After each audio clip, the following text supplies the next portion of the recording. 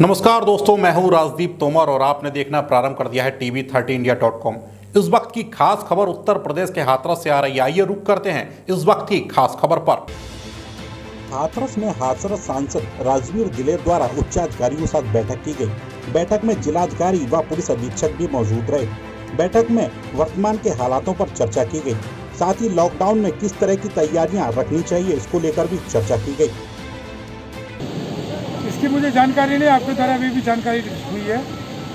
मैंने सीएमओ बुलवाए थे उनकी बीसी है इसलिए वो आ नहीं है।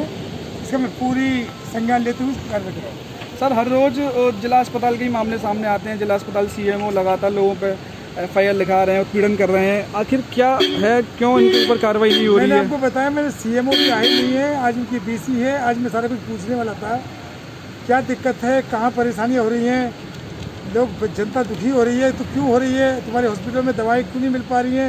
जनता के साथ व्यवहार ऐसा क्यों गलत हो रहा है? ये सारा कुछ मुझे पूछना था। आप आप आपने भी इस मामले में कोई उछली लेवल मेरे भी निर्देश डीएम साहब मेरी बात हो गई ये भी बैठ के नहीं। ये मैंने पूरी कार्रवाई मुख्यमंत्री तक से करा चुका हूँ। भाई ऐसा ऐसा मेरा मेरे कुछ संज्ञान में नहीं आया है वैसे। अगर हाथरस से या अलीगढ़ से कोई गुजरेगा तो उसका बिल्कुल संज्ञान में ज़रूर कार्य कराऊँगा और कोई खाने पीने की व्यवस्था उसकी भी कराऊँगा वाहन की व्यवस्था कराऊँगा। इससे मेरे संज्ञान में कोई आता।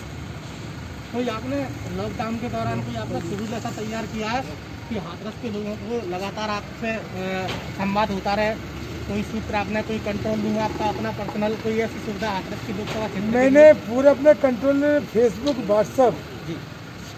मीडिया के द्वारा सोशल मीडिया के द्वारा अपना नंबर दे रखा है यहाँ तक भी नंबर दे रखा है कि जो लोग बाहर विदेशों में फंसे हुए हैं इधर कलकत्ता बम्बई मद्रास तक फंसे हुए हैं आठ दिन तक वो मेरी मीडिया पे चलाए।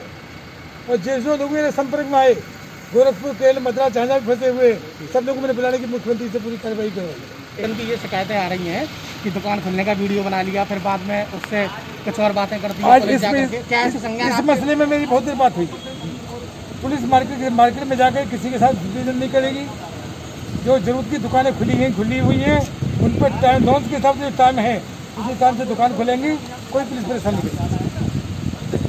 जो कोरोना पीड़ित जो परिवार था पीड़ित उसके बारे में कुछ बात हुई सर आपकी काम की भी बात जो एफ़ आई आर दर्ज हुई मेरी है बात हो गई है फैसला हो गई है वो कोर्ट में जाकर उसका फल होगा भी।